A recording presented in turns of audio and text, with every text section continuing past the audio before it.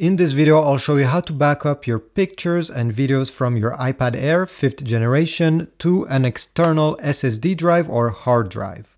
So there is a few ways you can do this. I think the easiest one, you'll need a OTG adapter, which is a USB type C to a USB type A.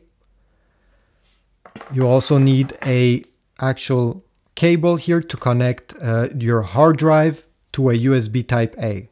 You can also do this by buying one of these. This is a USB hub that has uh, two USB type A ports here to a USB type C. Everything uh, I'm showing you here will be in the description if you want to get it from Amazon. But uh, today we'll do with this small adapter since it's cheaper and it works well. So connect the adapter to the USB cable and then the USB cable to your hard drive or your SSD. Then you'll need to connect to your iPad USB-C port. Okay, once you're done, all you have to do is to go in your photos, open this application. All your recent uh, photos and videos will be presented to you here. You're to press the select button on the top right corner and select which pictures you want to actually backup on your SSD uh, drive or hard drive. So I'll select a few. If you want, you can even select more. You just need to drag and it will select everything. Once you're done, all you have to do now is to press this small icon here on the lower left side. Press it once. Go down until you see Save to Files. Tap on this option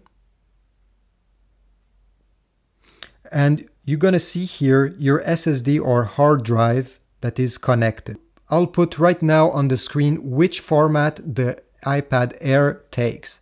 So you'll just need to be careful and make sure that your SSD or hard drive is formatted the right way so your iPad can read it. So once you see it uh, over here in this list, tap on it and you're going to see the folders that are already on your uh, hard drive. If you want to add a new folders, just tap here the icon and you can name it the way you want. Backup pictures, let's say. Tap done. You're going to see it there. It will be selected. And now all you have to do is to press the save button on the top right here.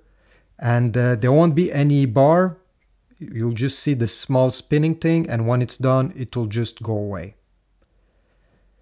To make sure that the backup is uh, done and everything is transferred, you can check this by going into your files, this icon over here, tap on it. And on the right, on the left side, you should see your SSD, tap on it. You should see the folder that you just created. And all the pictures that you have copied should be there you can view them, even videos if you want. It's up to you and you're done.